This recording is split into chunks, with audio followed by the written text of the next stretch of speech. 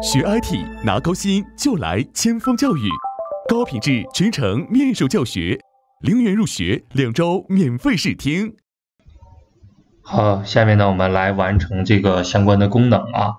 首先呢，我们呃一开始的时候在逻辑当中啊，我们去我们的逻辑页面呢，把这些先关一关啊。好，这边可以看到啊，我们的。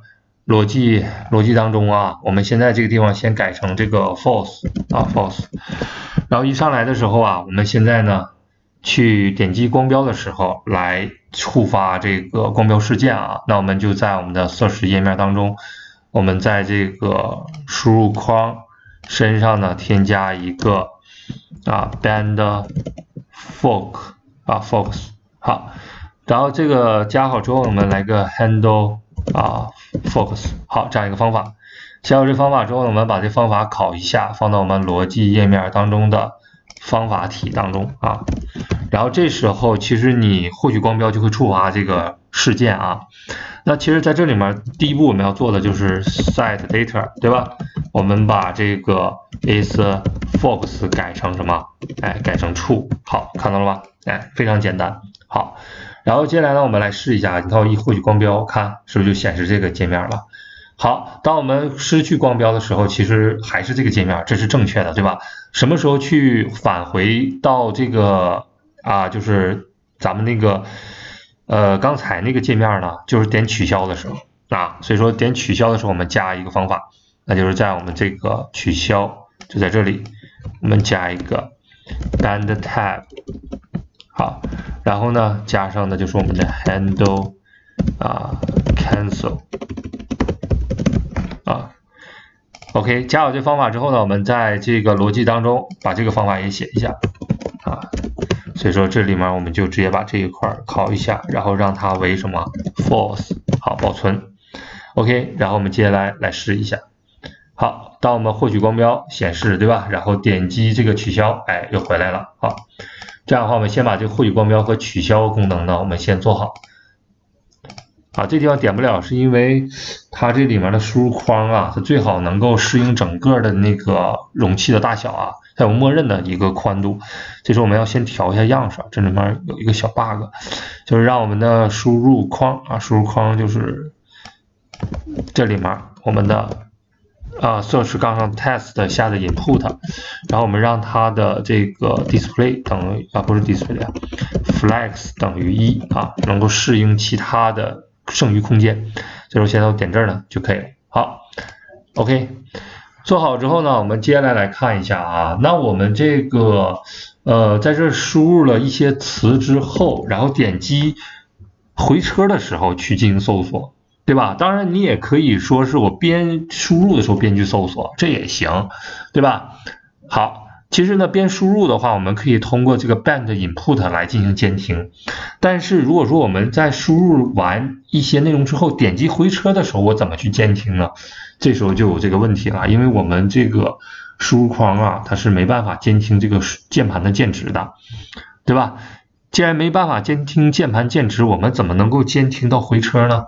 哎，这个就小程序其实帮我们解决了这个问题。我们需要看文档，在文档当中呢，我们找到表单当中的 input，然后呢，我们其实文档里面有很多细节啊，大家要把这个文档好好看一看。在这文档当中呢，我们这边其实有一个啊，我们的这个事件啊，我们可以看就 band input 边输入的时候监听，band focus，还有一个这个就是 band。Confirm 啊，它是干嘛呢？就是点击完成按钮。其实点击完成按钮就是回车，说白了。好，那所以说呢，我们这个时候只有加上就可以了，加到我们的，加到我们的这个呃这个输入框的身上，然后我们去加一下它，然后我们这个地方就是一个 handle 啊这个我们的 confirm 嘛啊，就写这样。OK，然后呢，我们来试一试，看这个方法什么时候能触发啊？接下来往下写，好，然后拿到 event，然后我们去 cancel log，其实这个输入的内容就在 event 下的这个我们的 detail，基本上它都是差不多的 value，对吧？啊，就是我们输入的内容。好，当然这个方法是点回车的时候触发的，我们来试一下。OK，现在呢，我们运行完之后呢，我们点一下，然后在这儿输入一个 hello。嗯，好，然后呢，你看在我们的控制台当中并没有打印任何的结果，那我们需要呢点击这个回车。哎，这时候就打印出来 “hello” 这个结果了。好，OK，做到这儿呢，其实还有一个小细节，就是说咱们的这个呃什么呢？就是说在手机端上啊，其实你在这儿一点的话，它就能调起一个软键盘，对吧？在这个手机的软键盘当中呢，其实默认呢，它那个回车上面写着“完成”两个字儿啊，大家有兴趣可以去看一下微信的搜索框，对吧？它默认是完成，但是微信的搜索框呢，就是你点击那个输入框，弹出软键盘之后啊，它那个确定按钮啊，它是一个搜索两个字儿。好，这个该怎么样去修改呢？哎，其实微信呢也给微信小程序啊，也给我们这样一个功能。咱们来看一下，就在我们的这个地方叫 confirm 的 type 的合法值，大家可以看到，你看这里面有一个 search 一个选项，就是说右下角按钮为搜索，就会显示搜索啊。所以说我们这个默认呢，就是我们完成啊，完成。所以说我们在这个地方把这个属性考一下，然后在我们的这个地方去加一下最好，然后去选择这个设置这个值，OK，这样的话。那个在手机上那个软键盘就会显示搜索两个字儿。好，OK，这边改好之后呢，我们再回到我们的呃逻辑页面。下面呢，咱们要做的就是去真正点回车之后，把这个词呢进行一个呃历史管理起来了。这个历史管理呢，我们利用的就是我们的呃我们的这个里面。自带的这个本地存储啊，其实就是说白了就是 H5 当中的这个 Web Web 这个 Storage 啊，就是本地存储。然后我们可以看一下，在我们的 API 当中，我们可以找到这个呃存储啊，这个存储是基基础功能里面就有啊。好，大家可以看一下，在这边有关于本地存储。好吧，这个还是搜一下吧，这个内容太多了。这个 storage 对吧？啊，就本地存储嘛。啊，然后我们可以看看到这边有有很多关于 storage 的方法啊，就在这儿呢啊，数据数据缓存。然后我们其实呢这边有设置，也有这个获取啊，我们就看一下设置吧，我们就用异步的去设置就行。好，在这里面我们下面有一个啊 demo，我们就写一下就行。好，我们在哪里去设置呢？就是点回车之后，我们就去设置就行了。好，微信下的 set storage，然后 key 呢就是我们要存的啊，我们就起名叫 history 的 data 啊，然后接下来呢，呃就不起这个名吧，叫啊 search 的这个 history 啊。好，写上这个 k 之后，那这个值呢，其实就是呃我们的一个呃数组，对吧？你要是因为这个词它会有很多，所以说这个地方我们最好存成一个数组比较好。那把这个地方写成一个数组，比如说我们随便写个幺幺，看看能不能存进去啊？好，然后我们保存一下。然后接下来呢，我们来看一下。首先呢，在这个调控台当中就有这个 storage 啊。然后我们可以看到，这个时候现在是一个没有任何数据的。让我们点一下。然后我们现在随便写点东西，然后我们点回车。好，大家可以看到这边就会生成一个测试 history，然后里面就是一个数组，然后里面就有一项了啊，一项。好，OK。那这个时候我们怎么样跟底下这个内容联动在一起呢？对吧？这个很简单，就是首先我们去定义一个 history 的这样一个 list 啊，然后是个空数组，然后接下来呢，我们先去在我们的这个渲染这一块，先把这一块做一下渲染这一块啊，这个地方是不是就是我们要循环渲染的地方啊？哎，所以说在这里面我们去加上微信的 for 然后 history list，然后是微信下的这个 key 属性啊，然后是我们的 index 啊 index，OK，然后加好这些之后，我们这地方渲染的就是这个数组当中的每一项啊，所以说把它取出来就是 atom，然后这个就可以不要了，嗯。好，那现在这个数组是空的，对吧？那所以说一初始是空的。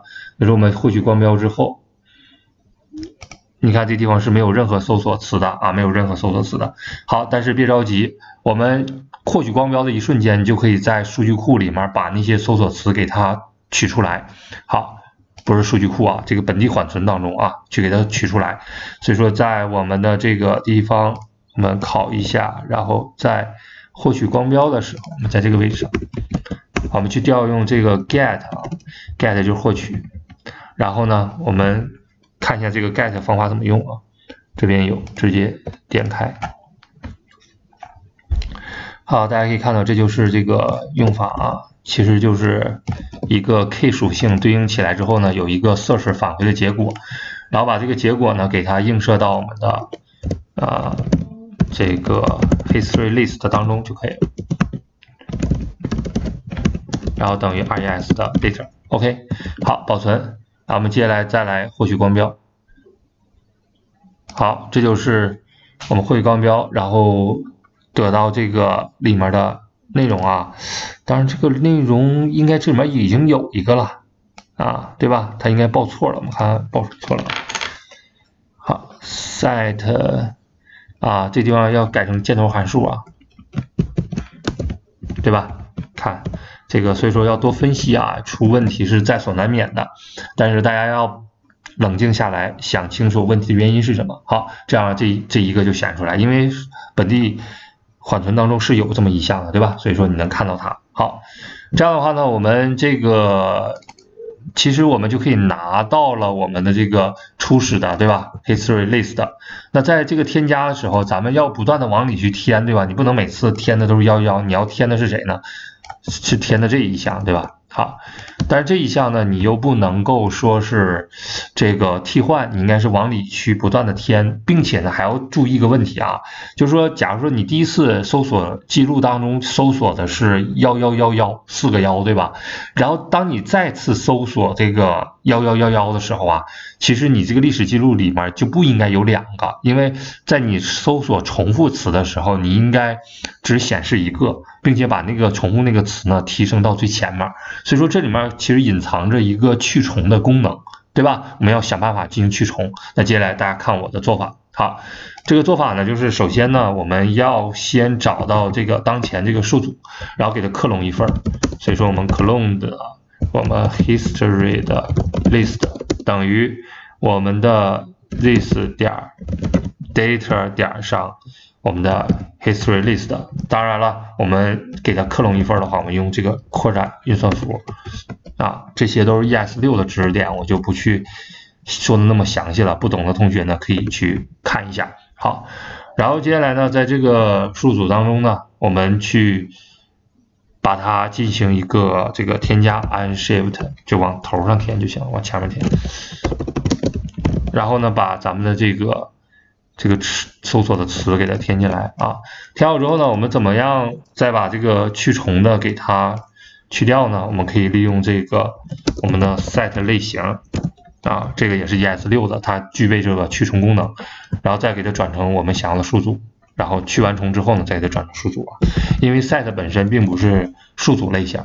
好，这一块呢，大家有兴趣的话可以研究一下啊，这就是达到了我的需求，就是去重，然后并且写入数据。好，OK，那现在我们把它清空一下啊，清空一下啊。好，然后呢，我们重新的编译一下，跑一下我们整个的这个呃逻辑，看看好不好用啊。所以说，首先我先搜索一个小，然后点回车，哎，点完之后呢，我们这里面是不是就有个小了？OK，然后我们再来取消，再获取光标，你看是不是就显示小了啊？就每次会光标就重新 get 一下，然后再写个大啊，然后再回车。然后呢，我们再去会光标，看是不是就有个大了。好，然后接下来呢，我们再写一个吧，啊，随便写啊，然后回车，好，获取光标是不是又来一项了？哎，这就是我们搜索记录，在这个数组当中，大家可以看到就存了这个本地存储当中就存了这几项。那这个有什么好处呢？当我们再次编译的时候啊，大家看一下，然后呢，我们现在点一下，你看这个词是不是就会在这儿了，对吧？就是你搜索记录嘛。好，那这时候呢，还像我刚才说的，我再搜索一个搜索过的，比如说这个小，然后点击回车，哎，然后呢，我们再次获取光标，你看这个小呢就会被提升到第一位啊，并且做了这个去重的功能，对吧？啊，并没有说再添加一个小进来，对吧？这样你就哎。这个体验就提升上来了啊！好，到此呢，咱们这个词呢，算是历史记录做好了。然后接下来咱们再来看啊，这个历史记录呢，其实这边有一个删除的功能，它是可以删除历史记录的。这个咱们先可以把这个先实现一下，对吧？好，这个删除历史记录，咱们在页面当中找到这个删除的这个按钮啊，删除按钮在在哪里呢？啊，我们应该是刚才写到了这个，哎，这个地方，对吧？好，所以说给这个删除按钮呢，我们加一个呃 band band tab 等于一个 handle delete，我们就写这样一个 handle history delete。好，然后呢，把这个方法呢写到我们的页面的下边。这时候大家注意啊，那我删除这个是哪个历史记录？其实就删除所有的历史记录啊。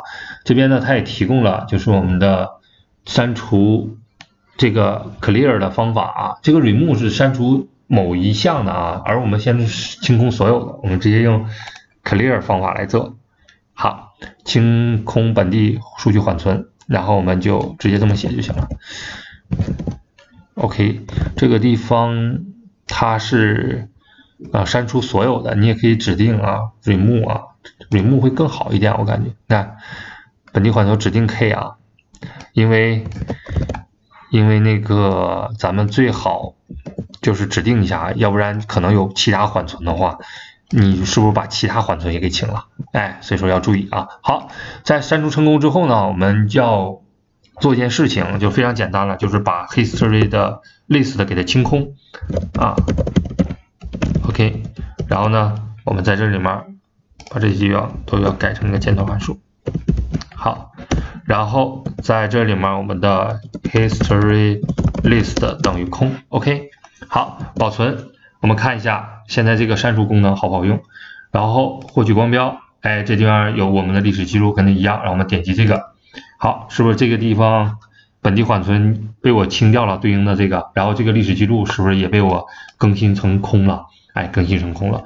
好，那现在呢，我们这个呃，对这个这个本地缓缓本地缓存的这个历史记录呢，咱们就把这个功能先做好，然后一会儿呢，我们来看一下搜索该如何去做。